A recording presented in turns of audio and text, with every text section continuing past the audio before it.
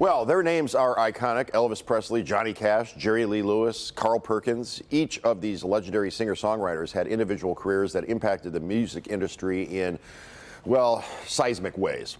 Did you know that one night, and one night only, they all gathered in the same place for a jam session, unlike any other to that point and probably ever since? That's the story behind the musical The Million Dollar Quartet, which is at Detroit Music Hall, presented by Hollywood Casino at Greektown. Joining us now is the king himself, Elvis Presley, also known as Jacob Barton. Uh, thanks for being with us, Jacob. Hey, thank you so much for having me. And this is all based on a true story. Uh, yes, it actually is. It, it, was about this one night in Memphis where Elvis Presley, Johnny Cash, Carl Perkins, and Jerry Lee Lewis were all just happened to be at Sun Records for a Christmas party. And Sam Phillips went and hit the record button and he recorded everything they did that night uh, it's a wonderful story. So, what about playing Elvis? Is there a challenge with that? Because there's so many, obviously, Elvis impersonators and tribute acts out there, but also there's a lot of different Elvises who have appeared on the screen. Uh, you know, most notably Kurt Russell. Absolutely, and and he had such a long career that there are many different versions of Elvis. You know, later in life, Elvis is very different from early Elvis, and early Elvis is different from middle Elvis or Hawaii Elvis, and everybody has their favorite Elvis. So I try to bring as much of Elvis out of myself into the role, and yeah, it is. A, it is a very different challenge than building a character from scratch than building a character based on a real person.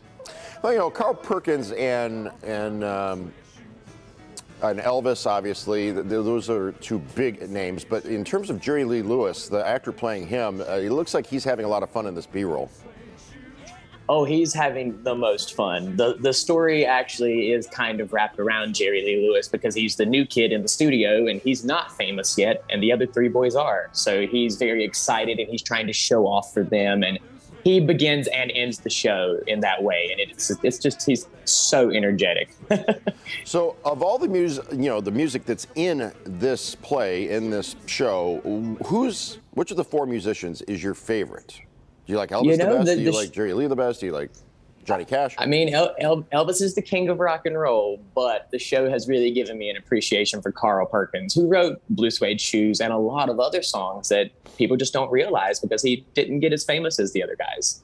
Um, but he's such a good guitar player and he plays so many different kinds of styles of music. It's just kind of amazing that he was doing all of that back then.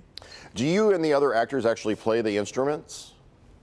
Uh, yeah, it's all live. I like to make the joke that it's all live music, all live hair. Uh, yeah, uh, we play uh, guitar, acoustic, electric. He's playing that piano in all that video. That's all him, all live.